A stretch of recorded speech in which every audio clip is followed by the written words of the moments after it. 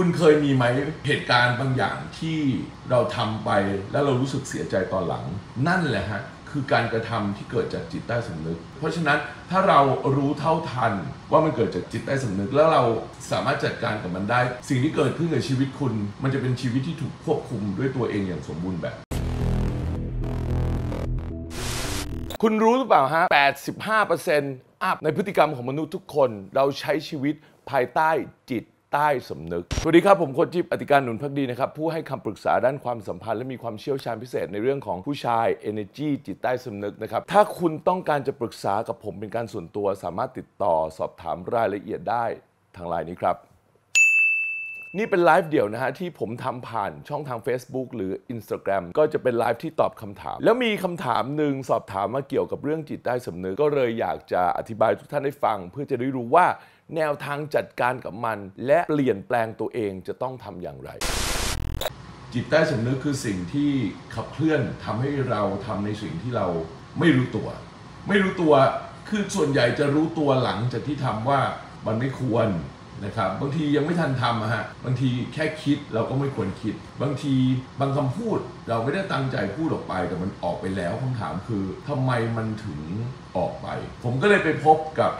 กลไกที่สามารถแก้จุดนี้ได้นะครับ ซึ่งถ้าเราไม่แก้จุดนี้เนี่ยสิ่งที่เกิดขึ้นก็คือ เราจะโดนขับเคลื่อนไปด้วยจิตใต้สำนึกที่ทำให้ชีวิตเราเนี่ยเป็นแบบที่เราเป็นอยู่ หลาย ๆ คนสงสัยว่าจิตใต้สำนึกคืออะไร หรือว่าไม่เข้าใจคาว่าจิตใต้สำนึก คุณเคยมีไหมเหตุการณ์บางอย่างที่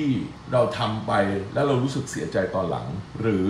คำพูดบางคำพูดที่เราพูดไปแล้วเรารู้สึกเสียใจตอนหลัง หรือแม้กระทั่งความคิดบางความคิดที่เราคิดไป แล้วเรารู้สึกเสียใจตอนหลัง เพราะนี้ไอ้สิ่งเหล่านี้ฮะถ้าเกิดสมมุติทุกท่านที่ได้ได้ดูไลฟ์นี้อยู่แล้วบอกว่า เออ ถ้าเคยเคยเกิดเหตุการณ์แบบนี้ขึ้นแล้วก็ แล้วก็มันมีสิ่งที่เราทำไปแล้วเราไม่รู้ตัวแล้ว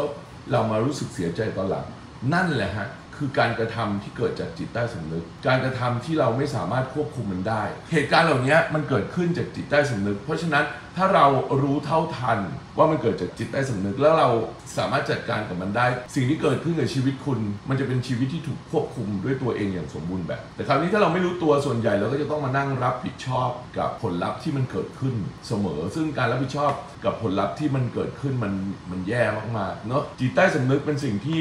เราควบคุมไม่ได้ เพราะเราไม่เห็นมัน แต่ถ้าเราเห็นมันเราจะควบคุมได้ การเปลี่ยนแปลงที่แท้จริงจำจิตไว้นะ เราจะไม่รู้ตัวหรอก แต่ให้ตรวจสอบจากคนรอบข้าง